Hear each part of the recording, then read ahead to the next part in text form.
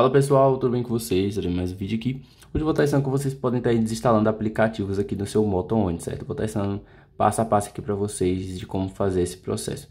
É, muitos dispositivos aí de outras marcas tendem a estar desinstalando com você apenas segurando nele e apertando desinstalar. Se não me engano, o Moto On é um pouco diferente desses outros dispositivos, assim como os outros dispositivos da Motorola. Eles funcionam desinstalando da seguinte forma: você vai segurar nele e ele vai aparecer algumas opções, incluindo a opção de de se você segura nele vai aparecer aqui pesquisar, digitalizar, fazer upload. Dependendo de cada aplicativo vai ter uma função diferente. Por exemplo, o YouTube tem como você tá, deixa eu segurar aqui o YouTube.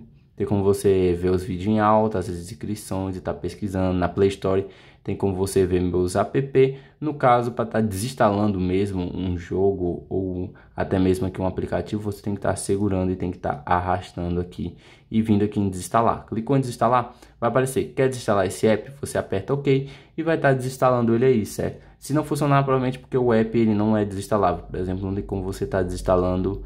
Hum, deixa eu ver um aplicativo aqui que não tem como você estar tá desinstalando não tem como você estar tá desinstalando o YouTube, se eu não me engano. Ó, vocês podem ver que não aparece a função de você estar tá desinstalando o YouTube. Só tem como você estar tá cancelando ele. É, por causa que ele é, um, ele é um aplicativo que vem com o dispositivo e você só tem a função de estar tá desativando ele. Então, é basicamente esse o vídeo, eu vou deixando ele por aqui. Não esquece de deixar aquele like. Até o próximo vídeo, valeu, falou!